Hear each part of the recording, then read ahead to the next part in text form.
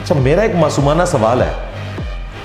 इनके गौस कुतुब अब्दाल तो पूरी कायनात को हथेली पे देख रहे हैं। जो गौसों के गौस वहाँ बैठे हुए साहबा कराम उन्हें नहीं पता चला कि नबी इस्लाम ने यह अमल क्यों किया और इसके पीछे रीजन क्या थी। उनको नबी इस्लाम बता रहे हैं कि अभी अभी हज़रत जिब्राइल मेरे पास आए थे।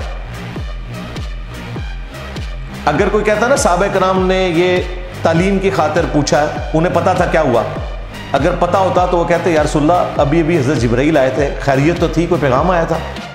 उन्हें पता ही नहीं चला। और यार, हज़रत जिब्राइल बुखारी मुस्लिम में आया, इंसानी शक्ल में हजूर के सामने बैठ के, घुटनों से घुटने मिला के, इतनी देर गुफ्तगू करके चले गए।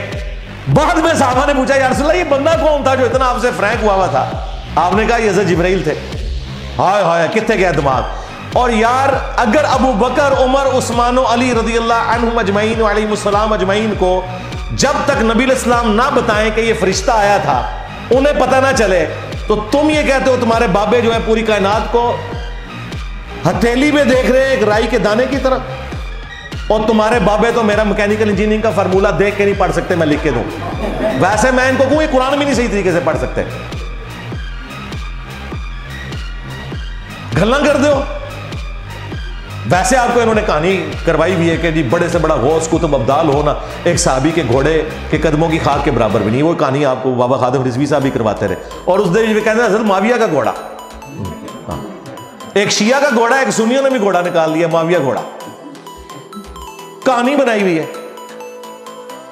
भाई, जामिया तिरमजी में, सुनने बिन माजा में हदीस है कि एक मोमिन की हुरमत काबे से भी बढ़कर है। तो मोमिन को घोड़े के कदमों की खाक बता रहे हो? बिल्कुल जाली बात है। किसी साहबी के घोड़े के कदमों की खाक किसी मोमिन से अफजल नहीं है। ये कहानी है बिल्कुल। झूठ बोल रहे हो। और उसमें फिर अजम माविया का घोड़ा डाल देते हैं बीच में? और शिया अपने घोड़े के नीचे से गुजरते हैं, ये इस घोड़े के नीचे से गुजरते हैं। कहानी बनाई हुई है। अब मुझे बताओ, तुम्हारे नज़दीक तो गौस कुतुब अब्दाल साबी के घोड़े के कदमों से भी गे गुजरे हैं। यही बात मैं ज़्यादा अच्छे अंदाज में कहता हूँ कि मेरे नबी सा है ही कोई नहीं, तेरे बाबे थे शाही कोई नहीं। और तुम तो कह रहे थे कि Abu Bakr, Umar, Usman Ali के घोड़ों के कदमों की खाक जैसा कोई नहीं, तेरे बाबे थे शाही कोई नहीं। ये कह रहे थे ना, मैं तो कह रहा हूँ नबी के जैसा कोई नहीं। बाबे थे शाही कोई नहीं। बाबी गए। हाँ। अब ये नारा इनके अपने उस नारे से तो बेहतर है ना? अच्छा।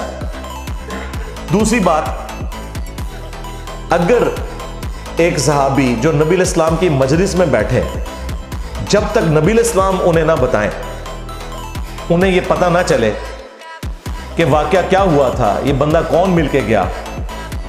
उसके बाद तुम्हारा यह क्लेम करना कि तुम्हारे बुज़ुर्ग जो है, वो दिलों का हाल भी जान लेते हैं, पूरी कायनात को देखते हैं, और तीसरी तरफ़ तुम यह भी क्लेम करते हो कि साहबा कराम तुम्हारे इन बुज़ुर्गों से अफजल हैं, बल्कि उनके घोड़ों के कदमों की खाक इन बुज़ुर्गों से अफजल है।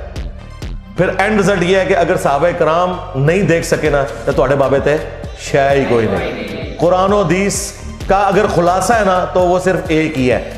मेरे नबी सा है ही कोई नहीं, तेरे बाबे थे शायद कोई नहीं।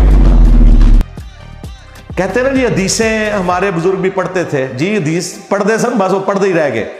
हाँ समझा भी रहे हैं। तो थोड़े बाबे किधर? बाबे थे शायद कोई नहीं। नवा जुमला समझ रहे हैं ना आप? हाँ तो तो तेरा क्या बनेगा कालिया ना!